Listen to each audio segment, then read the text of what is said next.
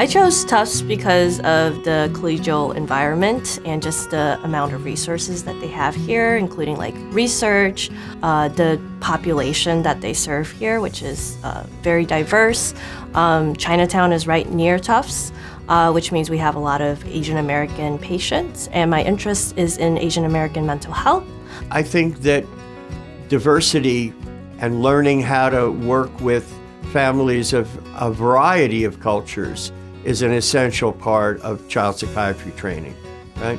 Uh, there's no question that discrimination and racism uh, and exclusion uh, affect children and affect children's well-being. That is magnified for us by being here in Chinatown and having a population in our neighborhood that, uh, that often has felt uh, excluded and, and poorly cared for. I am interested in uh, Asian American mental health, and you know, Tufts obviously is in the heart of Chinatown. Um, I mean, that really aligns with a lot of my interests. Asian people in general rarely get mental health treatment, so I think the fact that Tufts is located like right in Chinatown, it's it's like very close to the population. Um, and you know it makes it a little bit more accessible to come to treatment. For my elective here, I was able to create a Asian American mental health um, elective where I'm going to go see um, patients um, in Mandarin and Cantonese um, and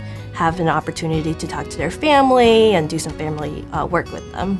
There is such a shortage of mental health providers uh, for Asian Americans, and for me to kind of fill that role um, has always been um, a dream of mine.